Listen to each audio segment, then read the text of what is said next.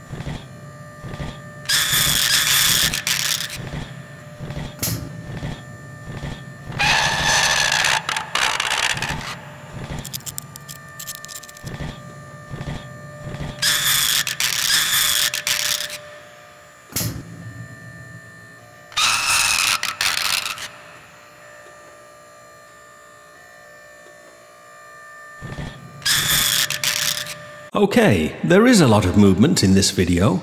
I'll take you through the vocabulary we can use to describe the movement you've just seen. RoboDog is confronting the RoboDog hologram. RoboDog is scared and glances around nervously.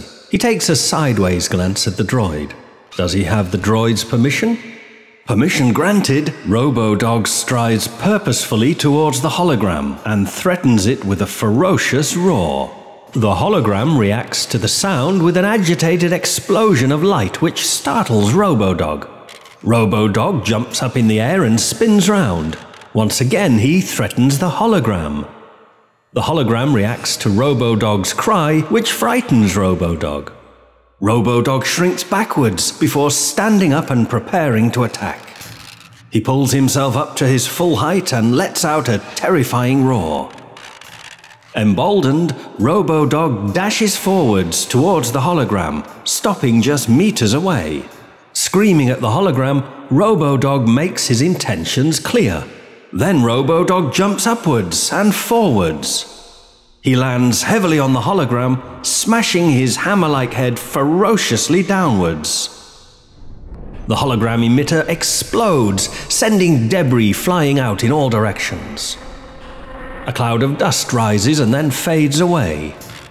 Victorious, Robodog gives a cry of triumph. Now Robodog is puzzled. The enemy has gone and there's nothing left to play with. Then he remembers his owner, the droid. Robodog jumps suddenly round to face the droid. Then he begins walking towards the droid. The droid begins walking towards Robodog.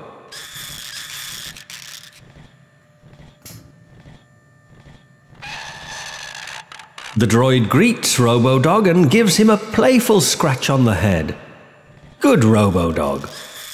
Then the droid walks backwards away from Robodog.